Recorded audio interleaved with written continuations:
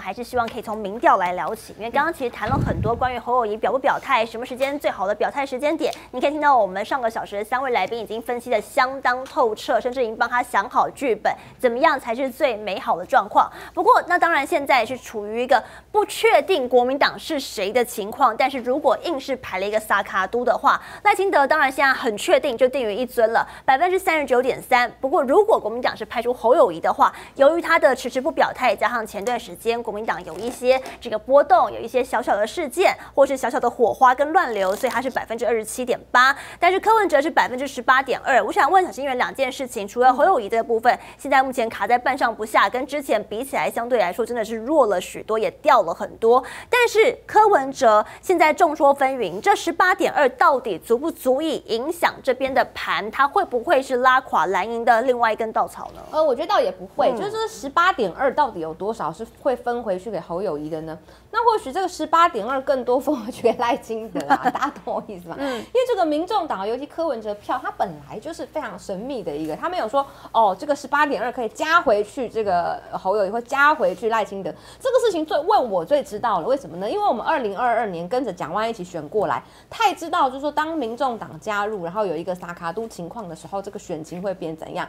那是需要一个更精密的计算，就是说你要先算出，呃，柯文哲的知识八点二里面有多少他是。就是死不可能投给国民党的，跟死不可能投给民进党的，然后再把这个比例呢加回去给这个，就假设他没有柯文哲，他加回去给赖清德，加回去给侯友谊，你才能看出他们的。这个差异，第一个会不会影响到大局嘛？对。第二个是说，到底他身上的票是偏蓝的多还是偏绿的多？那他出现到底是对赖清德好还是对侯友谊好？这个东西要精算才知道哈。所以这个十八点二，有一些人常解读就说啊，那这个就拉走侯友谊的票。我跟你说，真的未必。二零二二年我们已经选过一次给大家看了，所以其实呃，吴子嘉董事长讲说柯文哲这个民众党会被柯文哲做小，不太会影响二零二四大局。我是觉得呃，不太在。立委层级的话可能会影响，我也坦白说，在某些选区选区可能会影响，就是五五坡的选区，那你出来，你就算拿到个五趴或十趴，基本上这个票可能都会影响到最后的结果，会翻盘嘛。可是，在这么大的全国选举来说，我觉得呃柯文这个柯文哲的选选法哈，不见得会影响到。那很多人就讲，可是他有十八点二，哎，你怎么会这么说？那我就问，如果他十八点二是九跟九呢？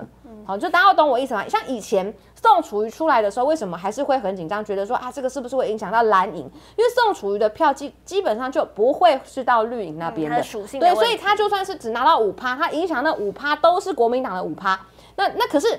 柯文哲的十八趴可能是九跟九啊，那各各这个等于各打九大板，那就平衡掉了，所以就等于完全没影响哦。所以这个数字虽然看起来高，它只是会让两边其他的数字降低，然后两个人看起来更纠结、更紧张。所以柯文哲出现会增加整场选举的紧张气氛，好，这是我是同意的。但是我不觉得说一定会对于大局产生什么翻天覆地的影响，这需要去精算。可是他的个人特质会不会对选战产生影响？我觉得会。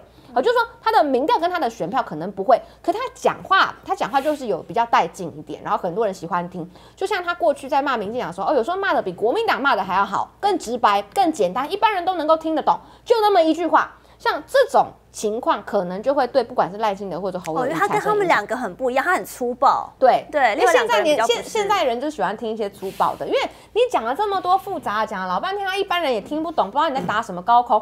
尤其现在包括社群时代，每一个人被分到的时间就只有一点点。你看为什么现在 TikTok 这么红？为什么流行短影音？没有时间嘛？那个时间是非常的切片跟零碎化的，所以你必须要在六十秒之内把你全部的主张，然后告诉大家，吸引到人家的注意嘛。甚至你十秒，人家。没兴趣就划掉，划掉，划掉了。所以说，像柯文哲这种 style，他的竞选当然会吸眼球。那但是吸眼球，可是因为他可能就没有办法选上，或者是说。他的他的吸眼球的方式是蓝的也吸，绿的也吸，所以不断的平衡之后呢，那他没有办法变成是说撼动大局，这个可能性是存在。可是他说的话，我觉得还是会有影响力。好，所以为什么我们还是会强调说，希望去争取这个在野党的共同合作？我觉得倒不是在讲蓝白合，是像国清和那样的合，不是，是说既然蓝白都是属于在野党，那对于民进党的监督，是不是大家可以保持一致的态度。像我对民众党啊，我一直都蛮客气，可是对一件事情我是非常非常非常的不满意，就是在上一次立法院我们在招委选举的时候，吴新颖委员竟然在未还委员会去投票支持民进党，让他们取得两席招委。你民众党要在其他的委员会你去投民进党，我都睁一只眼闭一只眼。可是请问，当时高端疫苗包括 BNT 疫苗要解密这件事情，民众党是不是大声疾呼？是不是跟我们一起讲？柯文哲也讲过说这个有问题，好，这个是不是有黑箱？当民众党所有人明明在基础的立场上是跟国民党站在一起监督民进党，说疫苗有黑箱，采购资料要公开。结果这么重要的委员会，你让民进党拿两席两席的招委，那几乎在这整个会期里面，你们还想看到高端的疫苗资料被公开吗？你们还想看到 BNT 当当时的采购的事实吗？这个会期就这个会期就没有了嘛，一点机会都没有嘛。所以我很那时候林维就一直摇头，一直摇头，我就觉得。你在其他的委员会，你跟民进党谈好吗？因为我们本来每个政党立场就不同，可是卫环委员会立场再来说，在野党是相同的，你怎么会去投下这张票？这一点都不合理。嗯，好，这个违背你们自己本身的主张了。这跟你之前讲话，你那你们之后还有什么脸回来讲说我们要看疫苗采购资料？民进党黑箱，你们是在支持他黑箱哎。所以我会觉得类似这样子的情况，未来不要再发生，这才是所谓我们现在讲的蓝白的合作。就是民众党，你有一些跟在野党共同的为人民发生的事情，你不能说因为民进党今天拉了你两下，可能博施小惠，哎，你就转过去了。好，这个事情我觉得是不行的。所以我会认为，就是说，好，亮哥有讲到，民进党的整军速度非常的快，时间表是确定的，而且二零二四年的立委初选已经开始铺排。国民党的速度必须要跟上。我举两个例子给大家听哈，赖清德他。因为哦，我特别讲台北市的立委，不是我觉得台北市立委特别厉害，而是因为我们台北市在媒体的中心，所以通常你这边的立委提名了谁，他会对于全国有一个印象，就说代表国民党，好，这个是没办法避免的，就大家的印象。那你看，民进党最近做了两个铺排，第一个林长佐不选了，对，当然他的理由是说他们家有罕病啊等等的，哦，我们都祝福。可是我相信里面有更多水很深的地方是我们外面看不到的，就是说民进党到底有没有还要礼让他，或者他有没有要推派自己。更好的人选，或者我讲白一点，就是林长所再选一次选不上，嗯，所以不要让他再选了。民进党他们跟国民党不一样，他们只会推出选得赢的人。当国民党都，我们其实很多人跃跃欲试，觉得说林长所这次完蛋了，很好打他，或许被罢免虽然没有成功，可是就差这么一点点而已。这次民众不会再投票给他，所以国民党推的候选人很有可能在中正万华可以得到胜利。那他们，哎，民进党多狠，嗯，直接林长所那别选了吧，换一个人吧。换一个人，不管怎样，林长佐过去的包袱，他过去对于国军的一些伤害，过去的失言等等的，都不能算在那个人头上嘛。对，所以他提出一个新血跟新面孔，他就是要为了全国大选去提升他们民进党整体的形象，让国民党难以去攻击嘛。第二个，王宏威委员那一区。他们本来我们都预计什么？吴一农上次选的还不错啊，嗯，再推吴一农嘛。结果在立委登记的前夕，直接告诉大家，我不选区域，也不登，也不争取不分区。对，这什么意思？民党太清楚嘛，这个一而再，再而三，三而竭，你已经输两次了，基本上你第三次只会再输而已。就算你这次选的看起来不错，我也不认为你能够赢。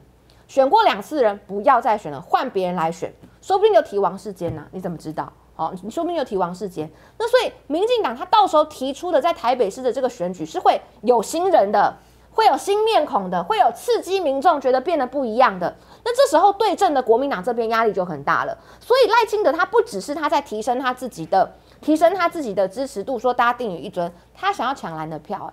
大家注意到了吗？昨天在这个董事长开讲，他们有在讲，他想要抢蓝的票，是。他现在的企图心是包括中间选民跟浅蓝的票都要抢，对，年轻的票他也全部都要，他是希望能够扩大他的整个整个得票的地图。